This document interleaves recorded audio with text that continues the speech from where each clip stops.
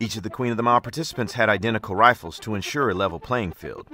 This is a deeper dive into the one mile capable rifle. The receiver is a Remington 700, hand fit by the Remington Custom Shop in Sturgis, South Dakota.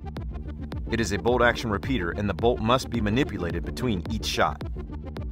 It is chambered in 6.5mm Creedmoor. The optic or scope is a Nightforce A-TAC-R. It features a 7 to 35 magnification range, a 34mm tube, and 56mm objective. It is one of the best rifle optics available. In order to support the rifles, a bipod is connected. It can be adjusted for height and angle.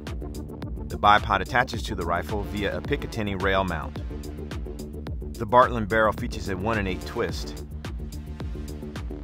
The rifles have muzzle brakes to help control recoil. The barrel to action is dropped inside of a chassis. The chassis is how the shooters interface with the rifle. In this case, it is a Magpul Pro 700.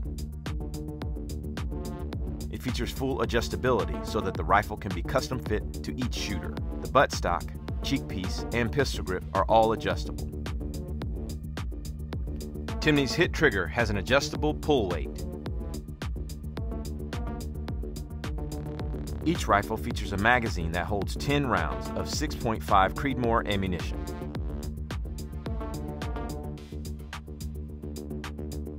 Ammunition is Hornady 140 grain ELDM 6.5 Creedmoor, which travels at approximately 2,750 feet per second.